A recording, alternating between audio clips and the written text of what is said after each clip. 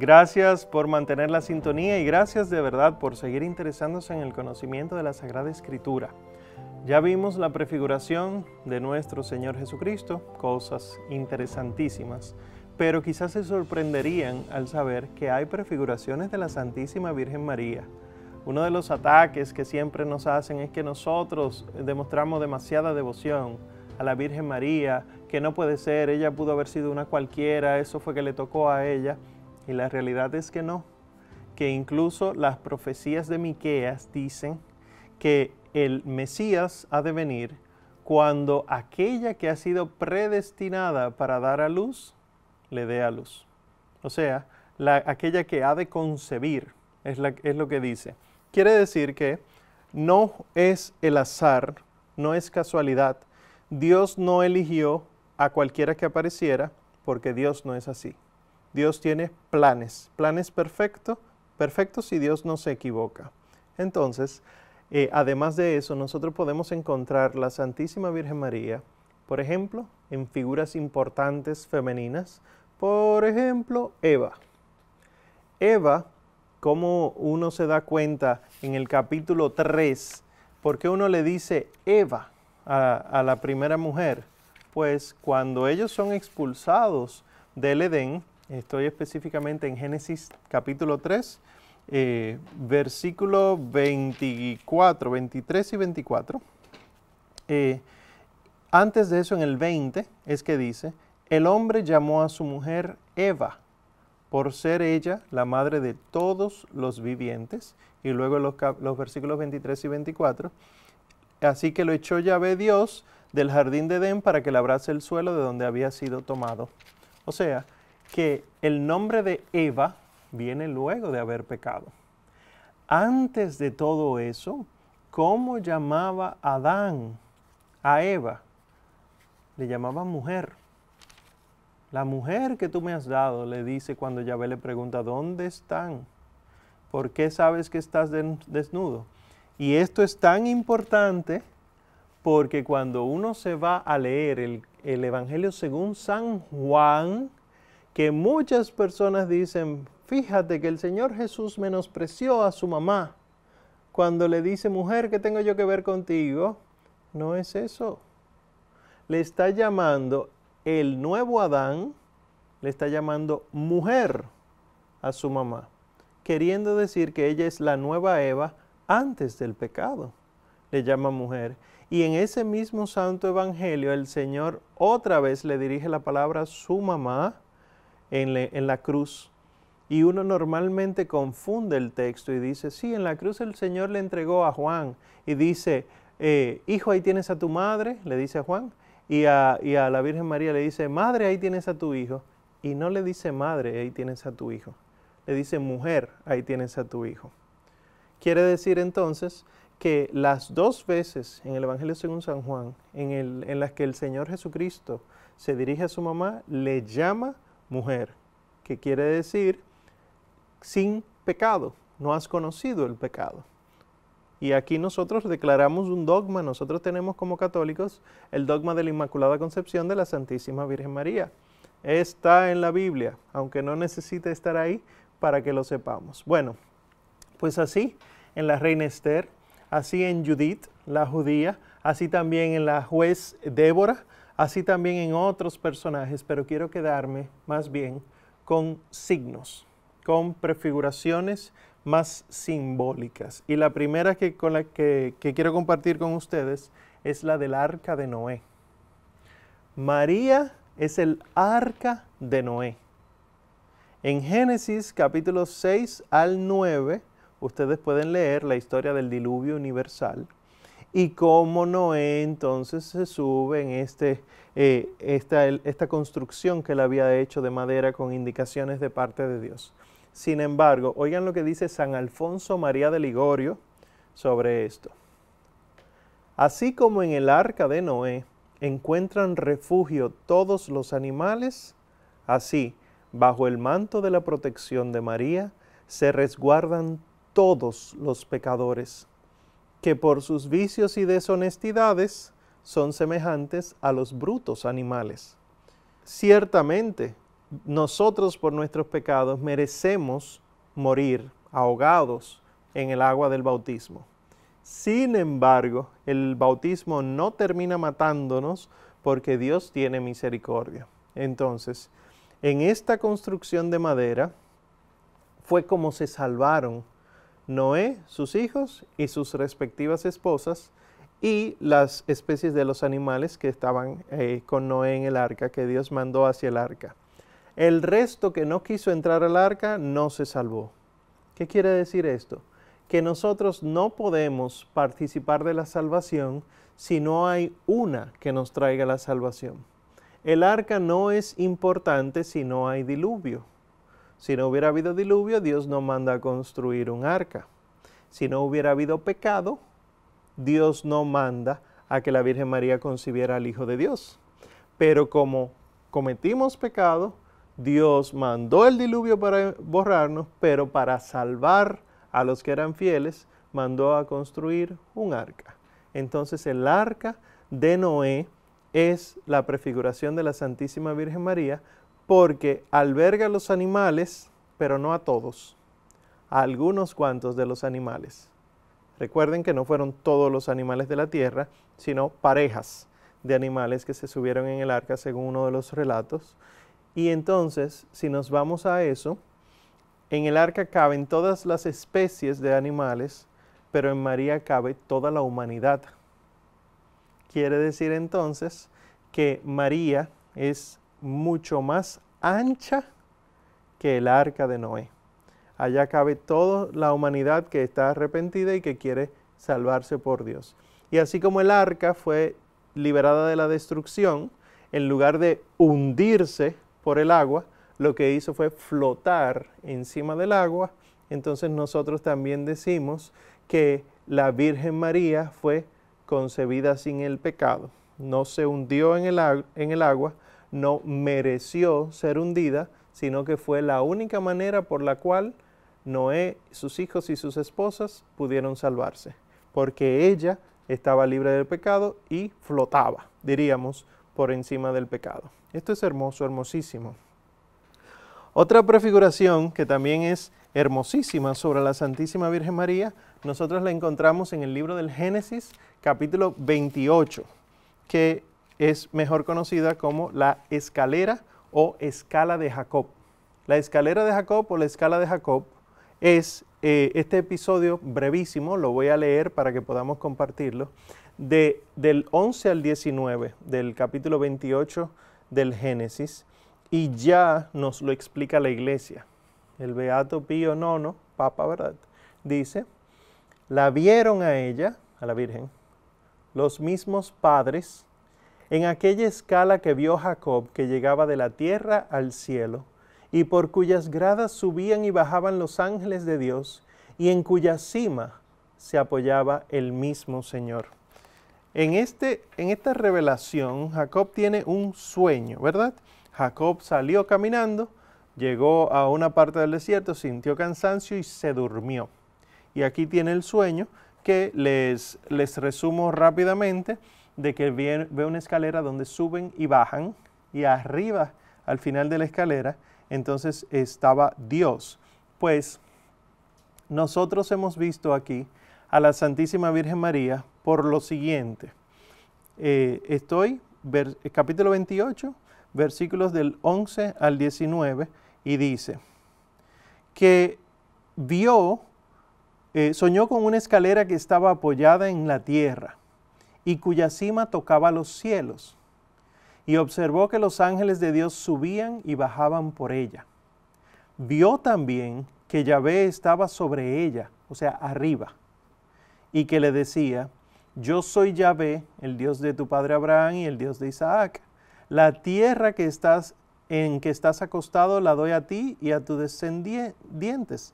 Tu descendencia será como el polvo de la tierra, te extenderás, etc. Yo estoy contigo, te guardaré donde vayas, te devolveré esta tierra no te abandonaré hasta haber cumplido lo que te he dicho. Y despertó Jacob y dijo, ah, está Yahvé en este lugar, yo no lo sabía. Qué temible es este lugar. Esto no es, y oigan los dos títulos que dice Jacob de ese lugar, esto no es sino la casa de Dios y puerta del cielo. ¿Cómo decimos nosotros en la letanía del Santo Rosario, las letanías de Loreto, de la Virgen María? La casa de oro y puerta del cielo ruega por nosotros. Estaba viendo entonces Jacob, y no lo sabía, a la Virgen María, que es por quien nos vienen las gracias, los ángeles que bajan, y es también quien lleva nuestras intenciones más directamente a Dios. Los ángeles suben. En la escala de Jacob entonces nosotros vemos que ciertamente solo hay un mediador entre Dios y los hombres, Cristo Jesús el Señor, como dice San Pablo, pero también este mediador utiliza mediaciones. Cristo habla, pero necesita hacer cosas para hablar. Y Él utiliza su ropa para sanar, Él utiliza panes para dar de comer, Él utiliza medios. Y quiere decir entonces que la Santísima Virgen María viene a ser el medio por el cual la mediación de Cristo ocurre. Y es entonces ella, ese espacio sagrado, donde Dios y hombre se unen. Otra imagen hermosísima, prefiguración de la Virgen María en el Antiguo Testamento, está en el Éxodo capítulo 3, la zarza ardiendo. Yo recuerdo cuando yo estudié esto, cómo me impresionó, porque uno normalmente utiliza el tema de la zarza ardiendo de Moisés como Dios hablando a través de una zarza que no se quema. Y punto. Sin embargo, si ustedes leen lo que está diciendo Éxodo 3, Éxodo 3, versículo del 2 al 4 dice, Allí se le apareció el ángel de Yahvé en una llama de fuego, en medio de una zarza. Vio Moisés que la zarza ardía, pero no se consumía. Fíjense que a Moisés no le llama la atención que se queme, sino que se queme y no se consuma. Miren que dice el versículo 3. Pensó pues Moisés, voy a acercarme para ver este extraño caso. ¿Por qué no se consume la zarza? Lo sorprendente no era que tuviera fuego, lo sorprendente era que no se quemara con ese fuego. Y cuando Yahvé vio que Moisés se acercaba para mirar, le llamó de en medio de la zarza y le dijo, Moisés, Moisés. Y él respondió, aquí estoy. Y el resto ustedes lo saben. ¿Quién es la palabra de Dios? El Padre, el Hijo y el Espíritu Santo. La palabra de Dios es el Hijo. Y aquí vemos que llama, Moisés, Moisés. O sea que realmente está el Hijo llamando de en medio de la zarza. Pero lo que llama la atención es que la zarza se arda, pero no se consuma. Quiere decir que de alguna manera, y esto lo dice un himno de la iglesia, lo, voy a leer esa estrofa, Moisés percibió el gran misterio de tu parto, el de la Virgen, dentro de la zarza ardiente. La juventud lo prefiguraba vívidamente, de pie, en medio del fuego y permaneciendo sin consumir, oh Virgen incorrupta y sin mancha. En la zarza ardiendo, ustedes pueden buscar imágenes en internet para que vean que esto la iglesia lo ha predicado siempre. Lo que Moisés está viendo y no, no se da cuenta es el Hijo de Dios hablando desde la Virgen María. El Hijo de Dios viene a ser el fuego la Virgen María viene a ser la zarza que no se consume. Se supone que el fuego debe quemar aquello que está quemando. Se supone que debe consumirlo.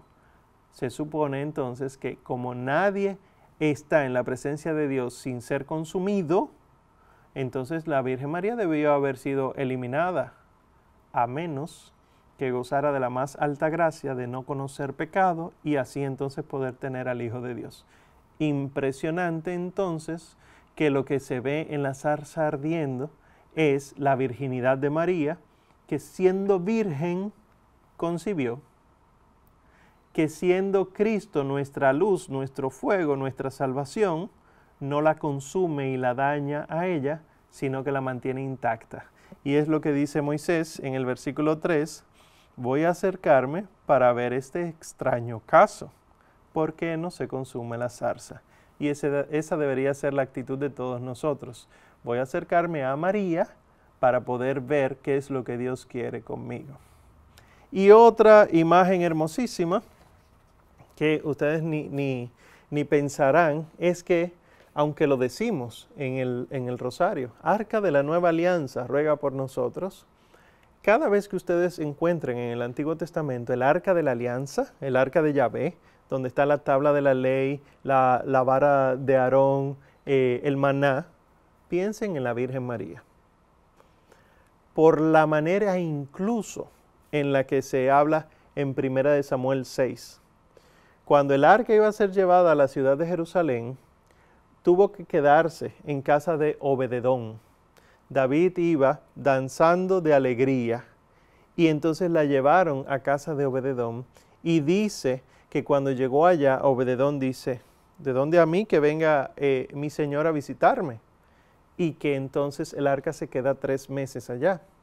Los que han leído la visitación de la Virgen María a su prima Santa Isabel, saben que la Virgen María llegó donde Santa Isabel, a la casa, y saludó, y el niño en el vientre de ella saltó de gozo, como el rey David, y Santa Isabel dice, ¿de dónde a mí que venga a visitarme la madre de mi Señor? Lo mismo que dijo Obededón en el capítulo 6 de 1 de Samuel. Y dice ese pasaje de Lucas que la Virgen permaneció con ella, con Santa Isabel, tres meses, el mismo tiempo que el arca duró en casa de Obededón. O sea que la Virgen María como arca de la alianza es eh, una imagen clarita. Y entonces que a muchos le ha, dicho, le, ha llamado la atención. Este hombre que quería ayudar, que el arca se iba a caer y le pone la mano y Dios manda un rayo, ¿qué pasó ahí? Oh, si la Santísima Virgen María es el arca de la alianza y ella misma ha dicho, ¿y cómo será esto si no conozco varón? Entonces ningún hombre le pone un dedo encima. No puede, porque ha sido elegida por Dios para ser madre del Señor.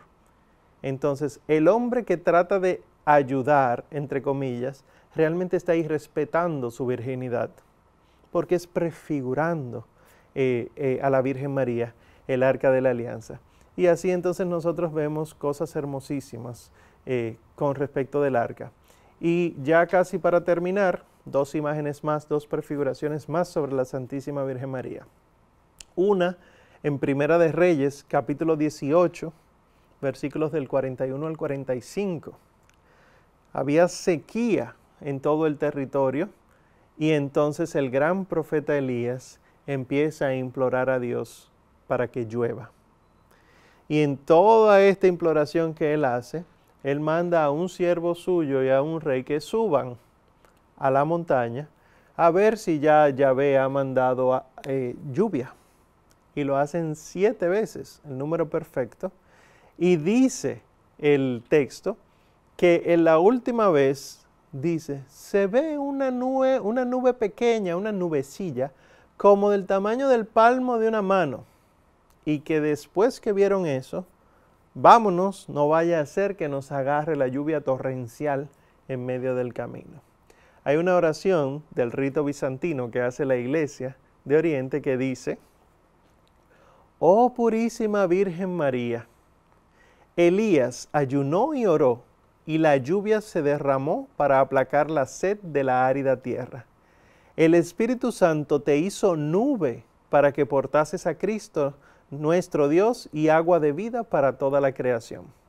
Nosotros tenemos todo este tiempo de la historia de la iglesia diciendo que esa nubecita que vio San Elías es la Virgen María, la Inmaculada Concepción, pequeña.